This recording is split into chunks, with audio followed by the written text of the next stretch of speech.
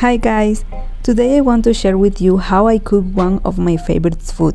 This dish is called seco de pollo, it's an Ecuadorian plate, so let's start with the recipe. These are the ingredients for two or three people maybe. Start cutting the vegetables in four parts because all of these vegetables are going into the blender so they need to be cooked neither too small or too big. Don't forget to remove the seeds from the vegetables.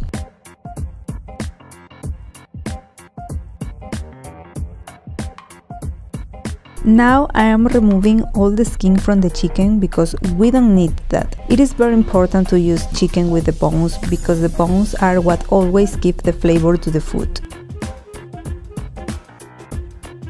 Put the green peppers, the onion and the garlic in the blender and with a little water let them crush. 6 seconds later put the tomatoes and after 4 more seconds turn off the blender. The secret of this is that the vegetables are not too chopped. You're going to put what you blended in a pot or pan with the chicken.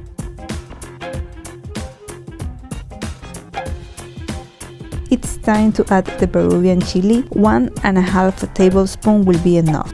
Add a little salt, not too much because the Peruvian chili already contains salt as well. Add a little more water so that the juice is not consumed.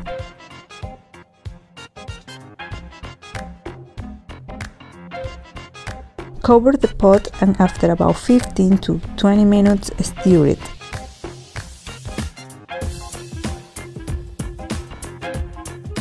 It's very popular to enjoy this dish with fried maduro and avocado, so I'm going to grill the maduros in the air fryer.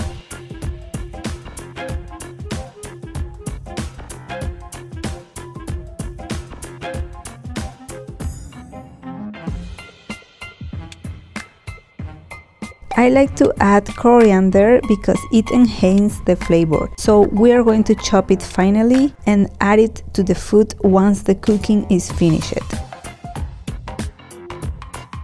Don't forget to check that the chicken is well cooked.